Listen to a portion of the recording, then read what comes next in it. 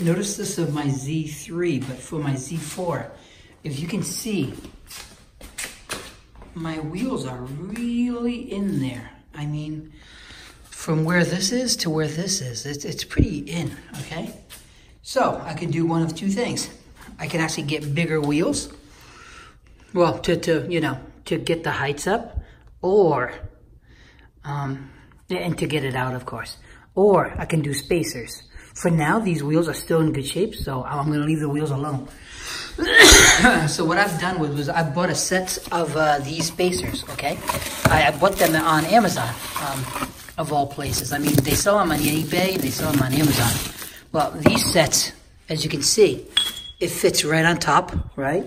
And then um, these are the original screws, and here are the new screws, okay? So what I'm gonna do is I'm gonna put the spacers on, and then I'm gonna put the wheel on top of that, and then I'm gonna put the uh, um, bolts on, and then we go, we'll take a look to see what it looks like after that, okay? Okay guys, I just put it back on, okay? As you can see, here are the old screws. Um, here are the new screws, the longer ones, okay? If you look deep inside, you'll see these silver spacers, okay?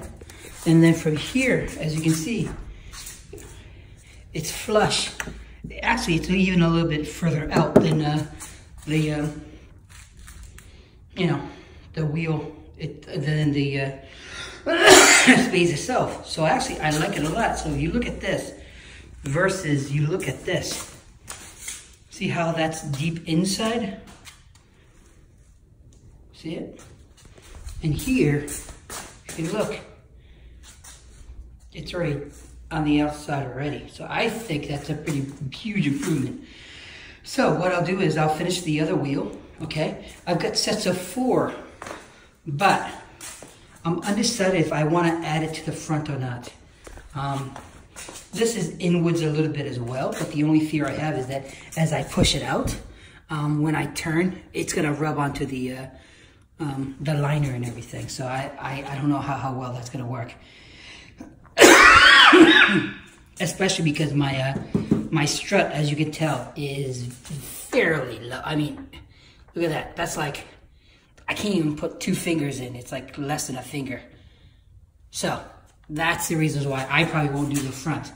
But